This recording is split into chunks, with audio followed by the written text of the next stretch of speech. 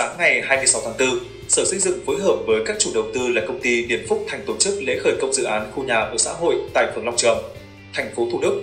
Ông Nguyễn Bình Thông, Phó Giám đốc công ty Điền Phúc Thành cho biết, dự án nằm trong tổng thể quy hoạch diện tích đất gần 15 ha của khu nhà ở phường Long Trường.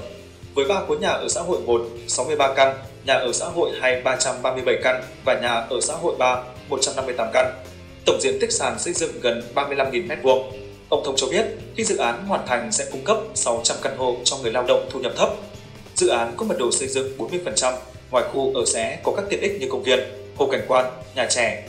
Chúng tôi cam kết sẽ triển khai dự án đúng tiến độ và chất lượng cũng như tuân thủ chặt chẽ các quy định của nhà nước trong việc cung cấp sản phẩm nhà ở xã hội đúng đối tượng, ưu tiên công nhân, người lao động thu nhập thấp và gia đình chính sách tại địa phương, ông Thông nói.